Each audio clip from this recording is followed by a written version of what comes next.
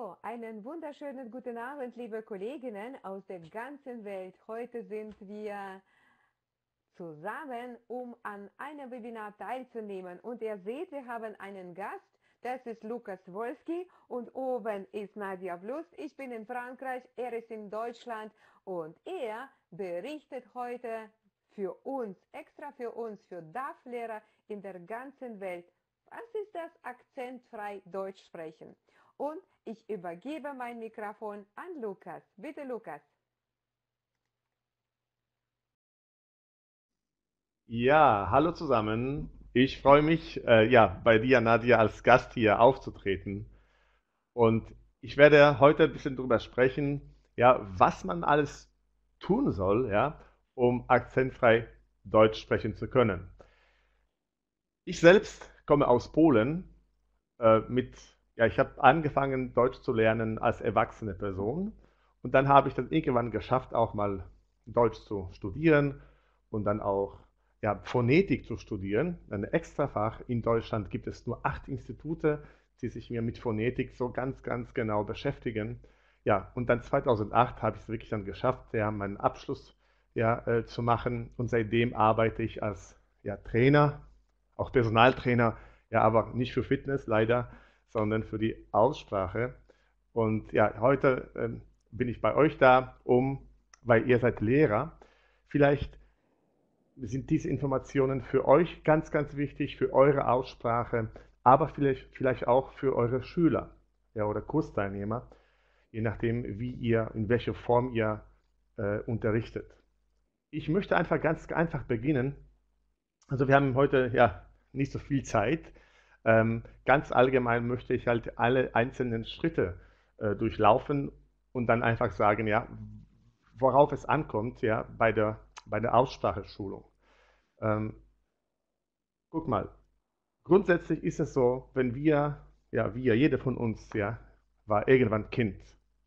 Und Kinder lernen, sprechen wann? Erst, ja, ungefähr, wenn man zwei ist, ungefähr, ja. Dann beginnen die Kinder zu sprechen. Alles, was davor passiert, beruht auf dem Hören.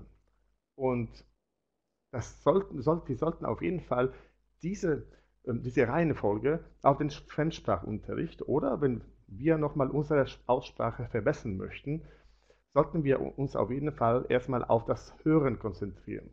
Bitte aber verwechselt nicht Hören mit äh, ja, jeden Tag Deutsch hören. Ist natürlich wunderbar und empfehlenswert, um ja, Melodie der Sprache ja, sich zu, anzueignen oder um äh, ja, Rhythmus, Intonation, wie auch immer. Das ist alles wunderbar und ich empfehle das jedem.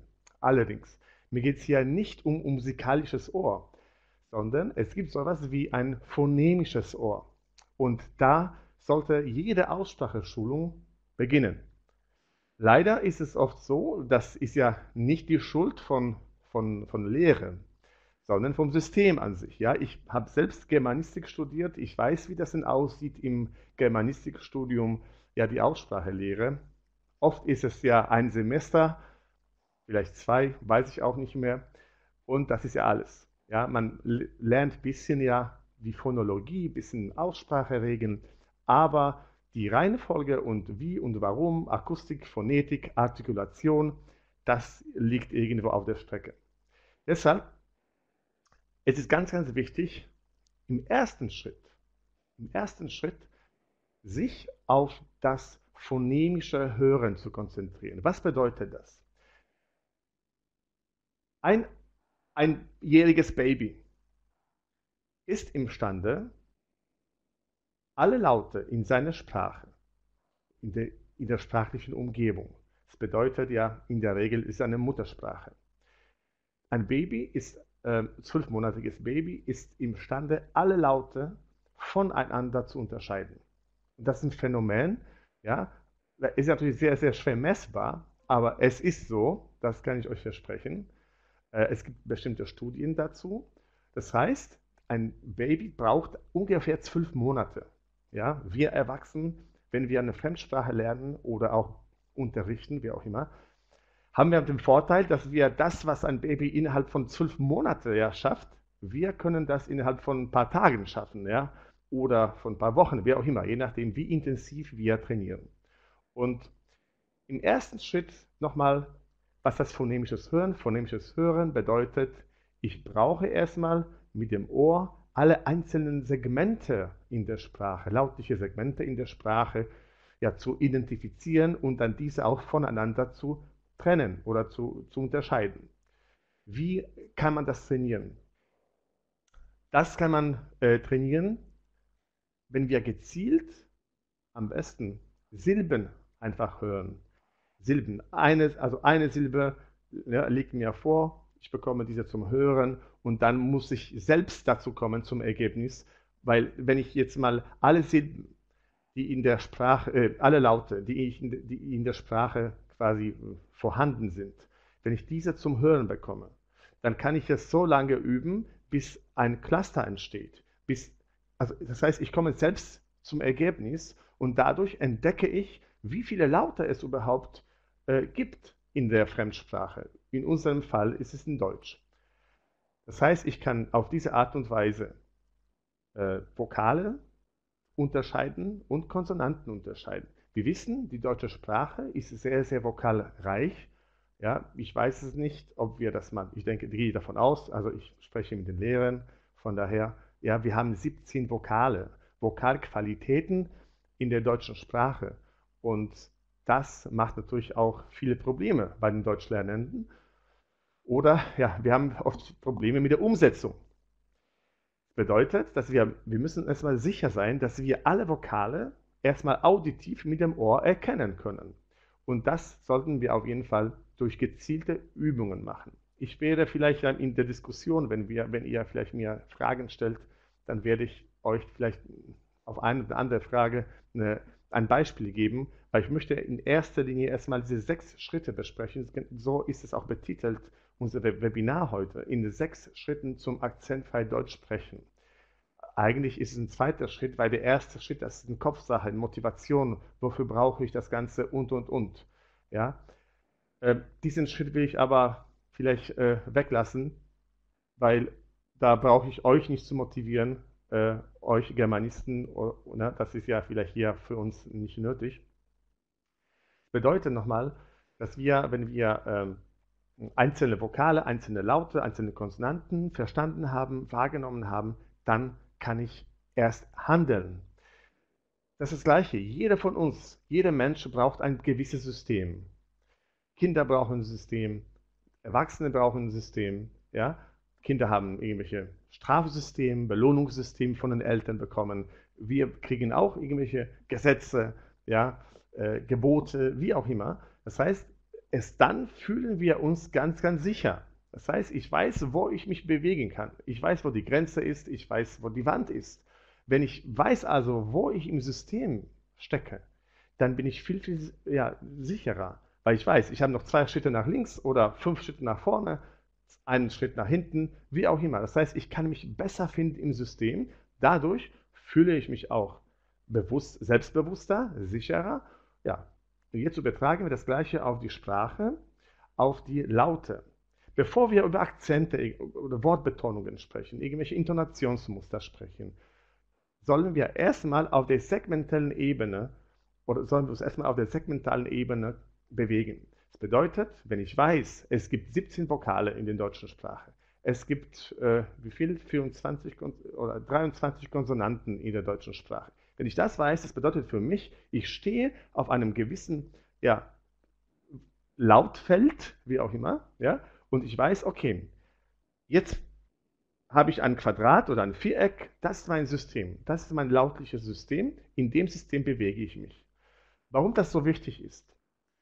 Das ist ganz, ganz wichtig für die Selbstkontrolle. Ja, und natürlich auch für die phonologische Bewusstheit. Phonologische und dann phonetische Bewusstheit. Das bedeutet, wir brauchen erstmal äh, diese Bewusstheit zu stärken und dann kann ich eine kann ich zur Produ Produktion rübergehen, logischerweise. Weil dann erfolgt wirklich eine Selbstkontrolle und durch diese Selbstkontrolle, auch wenn ich einen Fehler mache, auch wenn ich diesen Fehler sofort nicht korrigiert habe, bleibt der Fehler irgendwo im Kopf, auch wenn ich ne, nach, nach, einer Aussage oder nach einem Gespräch, ich kann mich mit dem Fehler äh, ja, auseinandersetzen. Ich kann diesen Fehler behandeln. Wenn wir dieses Wissen, dieses, diese, diese Bewusstheit nicht haben, heißt es, ja, ich bin unbewusst. Ich spreche weiter, ich mache Fehler, äh, keiner kann mich korrigieren. Ja? Es ist ja nicht zufällig, zufällig, dass die Menschen mit ja, Hörschäden auch falsch produzieren weil da findet eben diese Selbstkontrolle nicht statt. Diese Resonanz findet einfach nicht statt. Deshalb ja, sind die Menschen, ja, die mit Hörschäden irgendwie ja, entweder stumm oder ja, sie produzieren irgendwelche komischen ja, Laute, die sehr, sehr schlecht zu identifizieren sind. Das gleiche ja, gilt für die Fremdsprache. Das bedeutet erstmal das System kennenlernen und dann Produktion. Und diese Produktion, ja, das ist ein sehr interessantes Thema, weil jeder möchte eigentlich, also jeder assoziiert eine Aussprachelehre, beginnt, ah, okay, jetzt beginnen wir zu sprechen. Und meine ja, Schüler, Kursteilnehmer, wie auch immer, wenn die zu mir kommen, sagen sofort, ja, super, ab morgen machen wir einen Kurs oder wie auch immer, ja, wir werden sprechen. So, bis, bis wir sprechen, dauert es in der Regel zwei, drei, vier Wochen, ja, weil erstmal will ich sicher sein, dass der Mensch einfach diese phonologische Bewusstheit der deutschen Sprache hat, weil dann ist es viel, viel einfacher, es ist sicherer. Zwischen Produktion und der Perzeption, also der erste, zweite Schritt, ist immer so, das ist die Perzeption, dann ha, habe ich auch gesagt, die, ähm, die Produktion. Dazwischen ist aber noch die Akustik der Sprache. Und ich würde auch da äh, einiges anbieten. Ein Beispiel was Akustik heißt. Ja, ich habe hier, ähm, vielleicht seht ihr das mal gut, ja, ein Wort Himbeeren. Hier haben wir ein Beispiel ja äh, für eine Schwa-Elision. Wir wissen am Ende diese Endung en, ja, da versteckt sich hinter dem Buchstaben e äh, der Laut Schwa. Ja, der Laut Schwa äh, ist ja ein Murmellaut. Eigentlich ist es, hat keine Qualität, dieser Laut. Aber ein, hier nur ein Beispiel. Es gibt ein kostenloses Programm, äh, ein, ein internes Programm, Prat. Vielleicht schreibe ich das, schreibe ich das auf. B R A A T. Ich hoffe, dass ihr das mal gut seht. Prat. Dieses Programm, äh, das ist ein Programm für phonetische Analysen. Es ist eigentlich für Profi, aber glaubt mir, äh, ich nutze dieses Programm auch in meinem Unterricht. Das heißt, es, ich brauche nicht tausend Funktionen, die, diese, äh, die dieses Programm anbietet, sondern nur drei Funktionen. Und dadurch ist es, dieses Programm echt einfach. Dieses Programm ist für phonetische Analysen. Das heißt, in diesem Programm sehen wir sowas wie, wie hier auf dem Bild. Das ist ja ein Sonogramm und hier, ja, man sieht es, Himbeeren, oder Himbeeren mit Schwa-Elision, ja, also 0, das heißt, Schwa gibt es hier nicht und in dem unteren Bild ja, haben wir Himbeeren, ja, und wir sehen ganz, ganz genau, dass da hat sich, da drückt sich dieses Schwa aus in diesem Sprachsignal. Äh, auf diese Art und Weise kann man selbst eigene Aussprache trainieren, einfach sich dann aufnehmen, einsprechen und eigenes, eigene Aussprache beobachten und schauen, mache ich da Fehler, mache ich keine Fehler.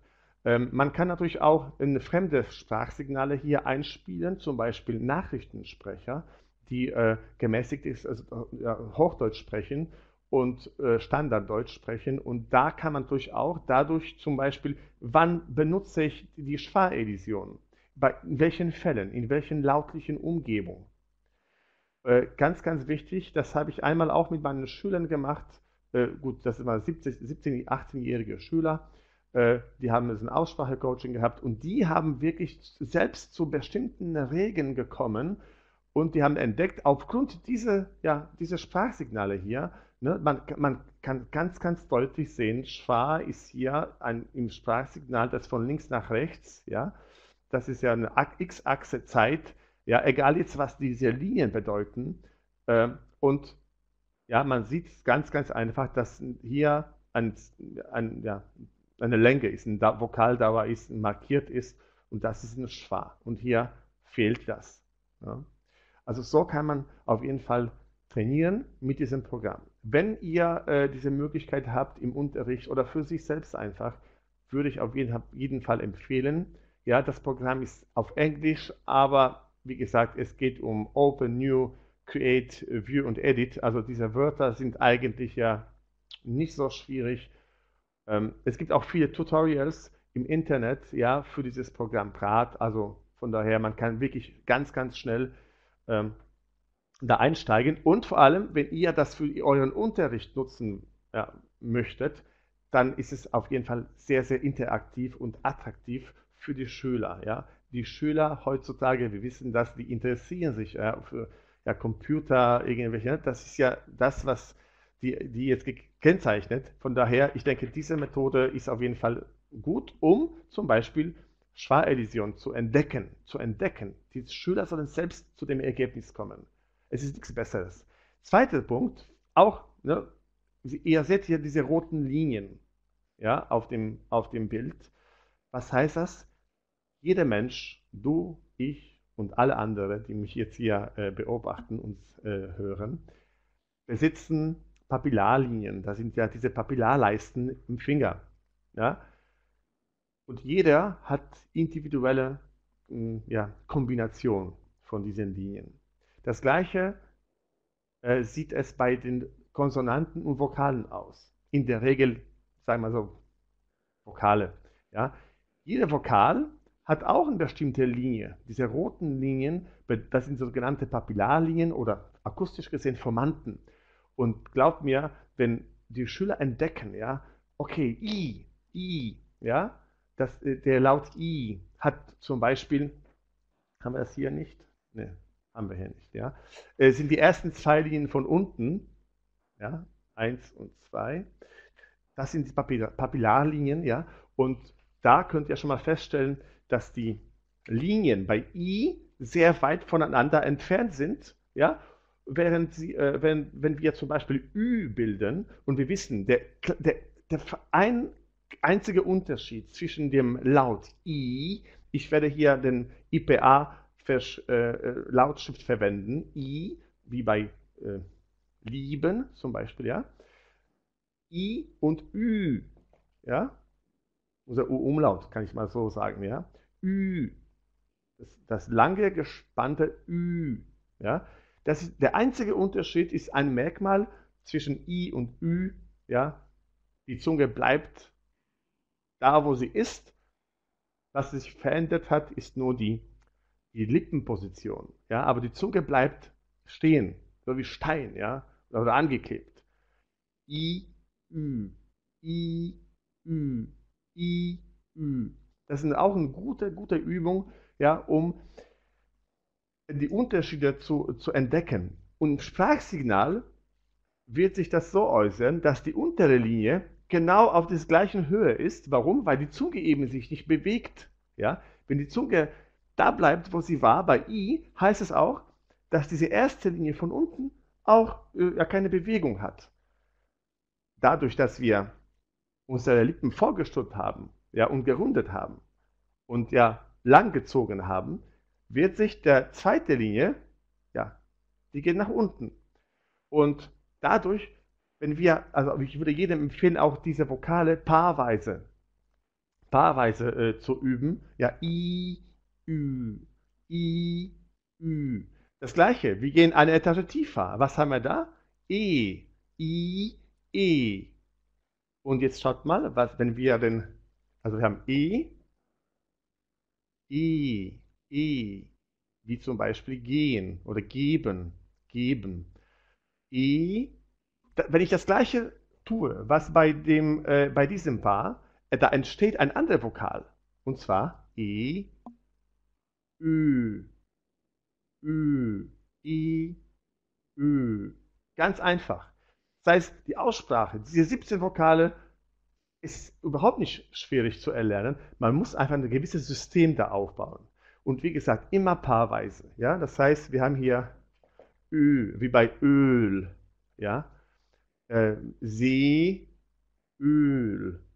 Seeöl. Ich hoffe, ihr macht jetzt vielleicht auch mit. Ja? Wenn nicht, dann macht ihr es nach dem Seminar. Ich freue mich auf jeden Fall auf eure Fragen noch gleich, ja? wenn wir dazu kommen.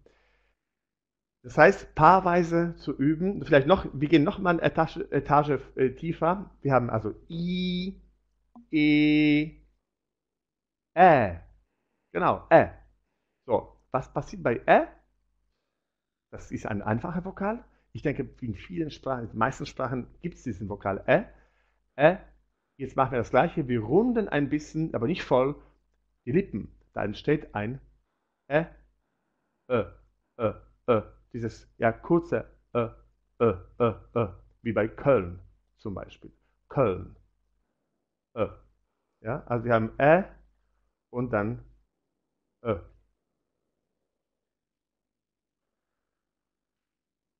Auf diese Art und Weise kann man wirklich gut üben. Ja? Ä, Ö, Ä, Ö. Und die Schüler haben auf jeden Fall viel Spaß, weil die bewegen nur die Lippen. Die, die müssen nur äh, halt die Muskeln koordinieren.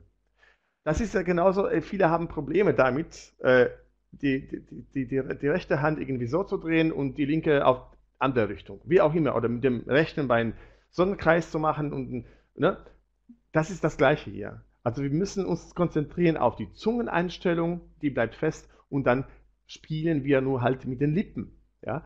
Und auf diese Art und Weise ist es nicht nur ja, sinnvoll, aber auch lustig vielleicht, weil da entstehen auch oft irgendwelche komische Geräusche und Klänge. Ja? Abgesehen davon, ja, ich werde jetzt natürlich nicht das ganze Vokalsystem jetzt besprechen, dafür haben wir wenig Zeit, nur ein paar äh, Beispiele, wie man das einfach gut üben kann. Äh, vielleicht noch ein interessanter äh, der letzte Satz, was Vokale angeht. Es gibt zwei A's ja, in der deutschen Sprache. Wir haben dieses kurze A und das lange A. Und wenn wir uns ganz, ganz, ganz, ganz äh, ja, genau reinhören, entdecken wir, dass wir das kurze A, Ball, Ball, Ball, äh, das ist ein Vorderzunge-Vokal. A ist auch heller, akustisch gesehen. Das kann man auch schön sehen, wenn ich diese Linien vergleiche, ja, im äh, in diesem Programmpart. Da ist ja kleiner Unterschied, aber ein hörbarer Unterschied. Ja? A, Ball, Ball, Ball. Und wenn ich ein langes A jetzt mal äh, artikulieren sollte, bei Fahren zum Beispiel, oder ein Saal, äh, ist die, da, dann ist die Zunge verlagert nach hinten und nach unten. Ja? A, A. Also nicht nur die, die Vokalquantität spielt hier eine große Rolle, ja, sondern auch Qualität. Das heißt, hm, diese zwei äh, Vokale sind doch unterschiedlich und nicht nur ähm, äh, bezüglich der Vokaldauer. Da gibt es auch einen qualitativer Unterschied. Ne? Das würde ich auch auf jeden Fall nochmal, also ich finde es äh, halte es für wichtig. So, bei den Konsonanten zum Beispiel. Ich hatte auch gestern äh, einen, einen, schönen, äh, einen schönen Unterricht gehabt. Kein Unterricht, stopp. Ein Gespräch. Und in diesem Gespräch hm, hatte ich ja, ja, ja, ich habe, ich habe gerade eine Bewerbung geschrieben. Bewerbung geschrieben. Was selbstverständlich, ja, das ist eine ja, Ausspracheabweichung, ja. Dieses Endung NG, ja, wenn wir zwei Buchstaben NG haben, N und G, das, da, da, da ist ja kein G zu hören, ja. Das ist kein NG, ja. Bewerbung falsch. Heizung falsch. Ähm, Zeitung, Zeitung falsch, ja. Man muss sich einfach abgewöhnen, von diesem ng, ja, das deutlich auszusprechen. Dafür haben wir ja einen Laut, mm, mm, mm. ja, diese komische Laut. Mm, mm, mm. Wir bilden es ganz einfach, indem wir hinten mm, mm, äh, bei G, bei G, bei G-Bildung, aber da entsteht keine Plosion, also wir lösen das nicht einfach G, sondern wir stellen die Zunge in der ersten Phase wie bei G, hm, aber wir lassen äh, die Luft durch die Nase ja, entweichen. Von daher, mh. Hm.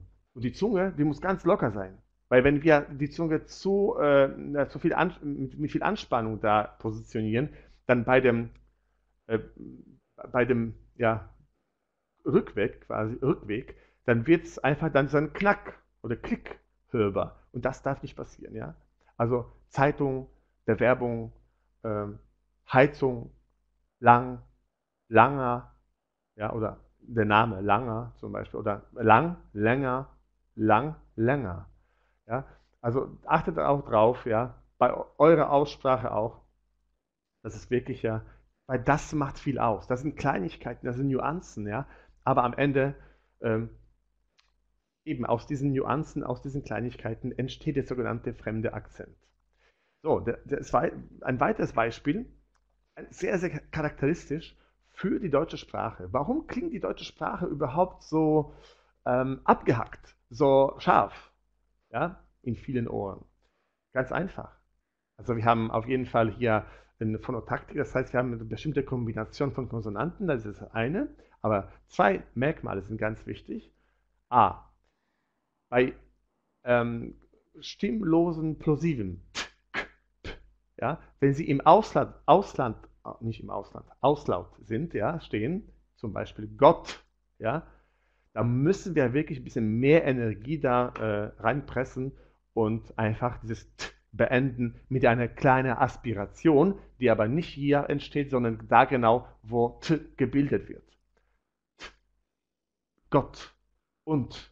Ja, man muss sich wirklich konzentrieren auf dieses T, auf dieses Gott und. Äh, was noch? Tag. Ja, der Tag. Ja, das ist kein G am Ende. Ne? Das ist also diese bekannte Auslaut, Auslautverhärtung. Ähm, Verhärtung, ja, das wiederum sind wir dabei bei diesem Laut. Das heißt, das ist die nächste Regel, ja. Ähm, was war das? Genau, Gott und ja, Tag. Tag. Ähm, noch ein Beispiel bei P. Viele, äh, vor allem mit ja, Polen, also Pole, ich weiß, wie das ist, ja, wie wir P bilden. Wenn ich sage, mein zweiter Name ist Piotr, ja, da sage ich, ich bin äh, Lukas Piotr. Okay, da bewegt sich der, der Zettel nicht, ja. Wenn ich das auf Deutsch sage, ich bin Lukas Peter, ja, ich bin Lukas Peter, Peter, ja. Also ihr seht auch da diese, diese Aspiration, bisschen mehr Luft, bisschen mehr Energie, ja, die in, diesem, in diesen Lauten, diesen drei Lauten, Konsonanten stecken, die müssen ja wirklich dann irgendwie ja, gelöst werden. Und die müssen einfach nach außen ja, explodieren. Deshalb heißen die auch Laute, diese Pütte, Pütte, und so weiter. Die sind explosiv. Und diese, die deutsche Sprache ist sehr, sehr charakteristisch. alle fünf Wörter im Satz haben diese Endung t, k oder, oder ähm, p. Ja? Deshalb achtet darauf und auch sensibilisiert auch eure Schüler, dass es eben sowas gibt. Und was noch, noch vielleicht sehr viel interessanter ist, das ist der sogenannte Glottalverschluss. Ja? Vor jedem Vokal, zum Beispiel mh, hm, erinnern, ja, erinnern, äh, sich erinnern. Ja? Viele von uns sagen erinnern, erinnern, erinnern. Irgendwie weich und sanft. Ja? Schade, weil da ist es der Knacklaut, was hier genau im Kehlkopf entsteht. Es ist sehr, sehr charakteristisch ja, für die deutsche Sprache. Hört euch Nachrichten, äh, ja, oder äh, lasst einfach dann euren Schülern Nachrichten hören und da entdeckt man einfach dann so eine Klicks. So wie wenn man als würde man mit Maus irgendwie anklicken. Das ist genau dieses Geräusch, diese Knack, Knacklaut, ja, was sehr, sehr charakteristisch ist. Ja. Das ist bei, mit der Bildung ganz einfach, weil wir müssen nur die Stimmbänder zusammenpressen. Und das machen wir zum Beispiel, wenn wir sagen ah, ah, ah, ah, ah, ah, oder mm, mm, mm, mm, mm, mm. in dem Moment ja, diese, da entsteht eine kleine Pause und in der Pause ja, wird einfach dann, werden die Stimmlippen kurz äh, zusammengezogen. Ja, und da entsteht auch keine Explosion eben, also nicht bei den Lippen, sondern bei den Stimmlippen. Ja, und dadurch haben wir diesen Knacklaut da. Das ist sehr, und dadurch hör, hört sich die deutsche Sprache eben äh, sehr abgehackt und sehr ähm, scharf. Ja? Also erinnern, erinnern. Ähm, Beate, Beate, ja, a, bea, bea, ja, nicht Beate, ne? oder nicht Joanna. Ja, meine Frau heißt Joanna, Joanna auf Polnisch. Ja?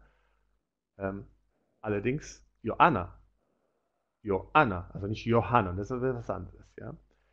Ähm, das ein, ein schönes Minimalpaar ist zum Beispiel aus, aus, Haus, aus, Haus ja, diese zwei Wörter unterscheiden sich eigentlich nur durch diesen einen Konsonanten. Aus, vor dem A steht eben aus, aus, aus, Haus. Das Interessante dabei ist, dass dieser Laut, äh, äh, dieser Laut, dieser Knacklaut, dieser Laut hat keinen Buchstaben, also kein, keine Entsprechung, keinen Vertreter in Form von Buchstaben. Das ist der einzige Laut in der deutschen Sprache, den wir nicht schreiben. Aber den müssen wir dann irgendwie nochmal aussprechen, aussprechen. Ja? So, das ist mal ein bisschen vielleicht eine andere Übung nochmal zu, zu der Produktion, ja, wäre es, um äh, einfach zu sensibilisieren, ja, dass es, äh, dass die äh, Hinterzungenvokale, gerundete Vokale, nicht Hinterzungenvokale, die gerundeten Vokale wirklich gerundet sind, äh, die müssen wirklich stark, mit starker Aus, Ausprägung gebildet werden. Das heißt, wenn ich O sage, dann muss ich O sagen, ja, die Lippen müssen maximal nach vorne gehen und dann muss auch maximale äh, Rundung ähm, erzielt werden. U, nicht irgendwie O oder O, ja, das machen viele auch diesen Fehler, O, O, O. Nee, einfach U, so, so weit, dass es nicht mehr geht. Und ein super Unterschied oder sichtbarer Unterschied ist ein äh, Wortpaar zu sehen, Pollen ja, und Polen. Ich denke, jeder weiß diesen Unterschied, ja. Polen, nochmal Polen und Pollen. Polen, Pollen. Man sieht es an meinen Lippen einfach, aber es ist noch besser zu sehen, wenn ich mich jetzt quer so zu euch äh, ja, positioniere und mache folgendes. Den ähm, Zeigefinger lege ich an die Nase und ja, den Daumen hier unten dem Kinn. Ja, und bei Pollen, oh, oh, vielleicht, vielleicht ist es besser. Oh, oh, oh, Pollen. Oh, Oh, Pollen. Ihr seht, hier entsteht noch, äh, ja, da haben wir ziemlich viel Raum noch, Freiraum. So, jetzt sage ich Polen, Polen, Polen, Polen, Polen. So, so sieht ein richtiges Training aus. Natürlich, im Training übertreibt man oft, ja. Das ist das gleiche im Fitnessstudio. Man muss Gas geben, um später das locker zu bilden. Das gleiche im Training. Im Training sollen wir auf jeden Fall übertreiben. Ja? Auch wenn wir da, sollen wir uns auf jeden Fall nicht schämen. Ja, egal, ob wir Lehrer sind oder ob wir Schüler sind. Also ich hm, habe diesen, ähm, ich habe gute Erfahrungen mit Arbeit, äh, ja, in Arbeit mit Lehrern. Am Anfang sind ein bisschen nochmal irgendwie ja, schüchtern, schämen sich ein bisschen, ja, und danach, wenn, ja, nach zweiten Session, wie auch immer, da geben sie wirklich Gas und egal, ob sie Fehler machen, dafür sind alle da, dafür sind wir auch hier, um einfach voneinander zu lernen. Ja? Ich kann von Nadia was lernen, Nadia von mir und so weiter und so fort. Wir sind Fachkollegen und wir sollen uns auf jeden Fall unterstützen und nicht irgendwie gegenseitig auslachen. Ja, also das ist äh, vierter Schritt Produktion. Äh, wir haben noch ja, ein bisschen Zeit. Vierter Schritt Silbe. Also alles, was wir bis jetzt durchgemacht haben, das war, also vielleicht noch ein Bild hier zur Bildung von, ja, das ist das oben. Oft haben auch russische Deutschsprechende das Problem, ich, ja, ich habe, ja, produzieren, das ist ja sehr charakteristisch für russisch sprechende Menschen.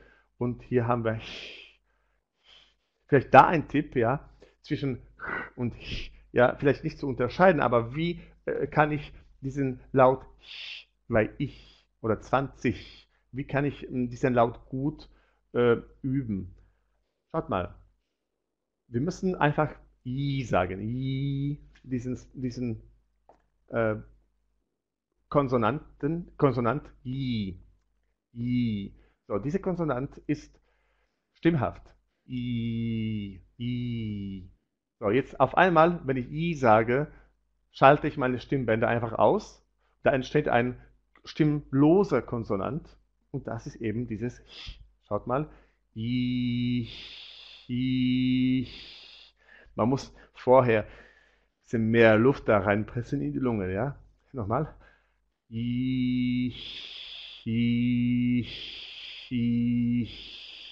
seht, hier in der Artikulation oder in der Zungenstellung ändert sich gar nichts. Ja, was sich, da ändert sich auch wiederum ein Merkmal. Stimmhaftigkeit oder dann Stimmlosigkeit.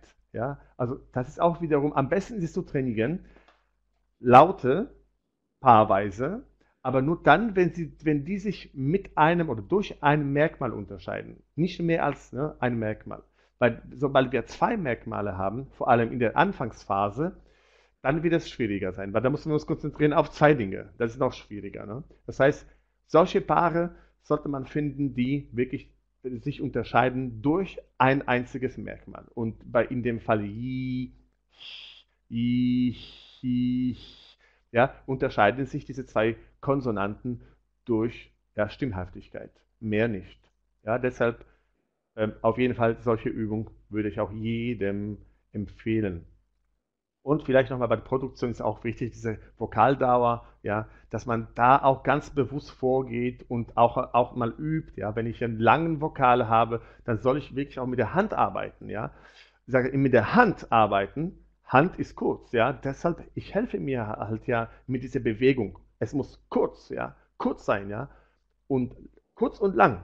Ja. Beide Wörter haben diesen kurzen Vokalen hier drin äh, während üben ja, oder gehen oder geben, wie auch immer, ja, man muss sich einfach das irgendwie auch motorisch, äh, da sollte man sich motorisch unterstützen durch die Handbewegung, weil da bleibt das besser hängen im Kopf, ja, wenn wir äh, nochmal diese motorische hier, äh, achso, ich dachte, das wäre dann was für mich in Information, aber das fragen wir. Ja, ähm, im, zwei Schritte noch ganz kurz. Silbe, Silbenaufbau, ja. Man muss auch uns ja klar geben, vielleicht die Regeln, ja. Silbenaufbau brauchen wir dafür, damit wir, damit wir mit Regeln gut umgehen können. Ja, wenn wir das irgendwie, äh, wenn wir nicht wissen, wie die Silbe sich aufteilt, ähm, zum Beispiel Teilung der Silbe, wenn wir zweisilbige Wörter, zweisilbige Wörter haben, ja, wenn wir nicht wissen, wo genau die Silbengrenze ist, ja, und das ist manchmal sehr, sehr kritisch, ja, man muss das wirklich wissen, wie die Phonotaktik aussieht. Das heißt, welche zulässige Kombination es gibt in der deutschen Sprache. Wenn wir das aber wissen, dann wissen wir auch, ob da ein Vokal lang oder kurz ausgesprochen werden kann. Und wenn lang, dann ist automatisch auch gespannt, ja. Und äh, von daher, da brauchen wir auf jeden Fall äh, äh, dieses Wissen, ja, wie sich die Silben äh, aufteilen. Ich werde das, ich werde das jetzt nicht besprechen, weil das ist ja viel, viel zu, ja, viel, um das ja so schnell zusammenzufassen. Aber ein kleiner Tipp, ja, um einfach die Vokallänge, Vokaldauer zu trainieren und sich dessen bewusst zu machen, ja, braucht man dieses Wissen, ja, wie die Silbe aufgebaut ist. Und dann ist es viel, viel einfacher, weil ich entdecke das selbst. Ah, diese Silbe, äh, ist es offen dann oder geschlossene Silbe. Ja. Wenn ich das weiß, dann weiß ich automatisch, ja, ob ein langer Vokal oder ein kurzer Vokal davor kommt. Ja. Oft äh, wissen wir das, aber wir setzen das einfach nicht um. Weil, wie, weil wir entweder nicht wissen, diese Regeln, oder weil wir die Selbstkontrolle nicht haben, oder dass wir einfach nicht trainieren. Ja, das sind ja drei Gründe, warum ja, äh, ein Training oder eine Aussprache manchmal ja äh, nicht erfolgreich ist oder nicht schön ist, wie auch immer. Ja. Und dann erst im letzten Schritt würde ich auf die suprasegmentale Ebene kommen, ja, Wortbetonung, ja, Wortbetonung.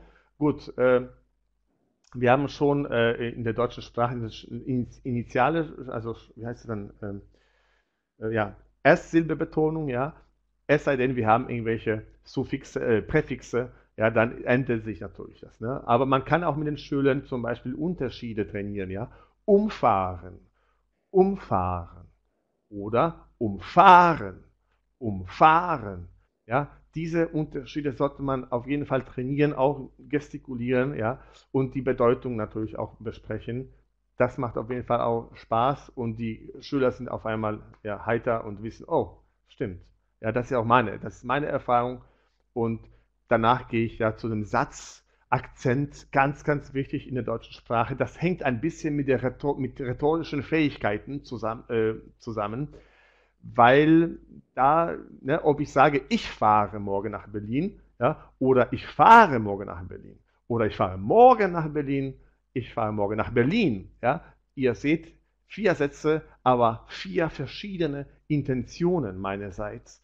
Ja, das ist der Satzakzent und das sollen wir auf jeden Fall mal den Schülern auch mal üben, ja, weil das hängt auch mit der Intention, mit, äh, ja, mit, Emo mit Emotionen sogar, ja.